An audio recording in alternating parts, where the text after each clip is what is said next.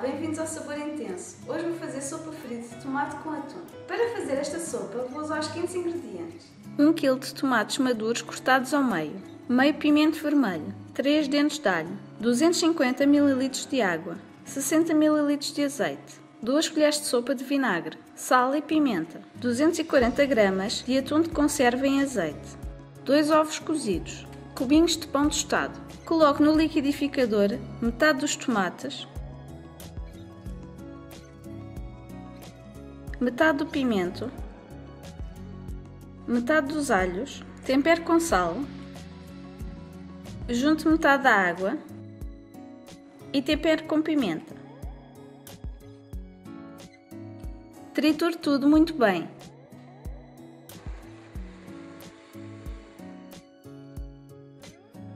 Coloque numa taça grande.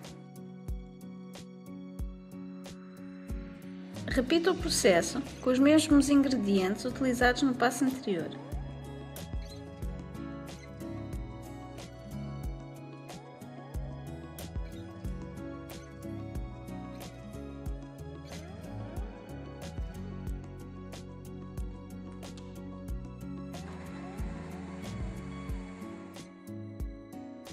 e junte na taça.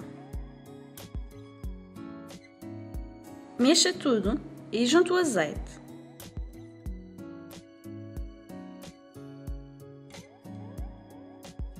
E o vinagre e mexa bem.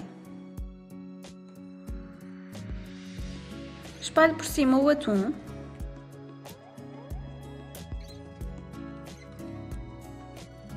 Os ovos cozidos cortados em pedaços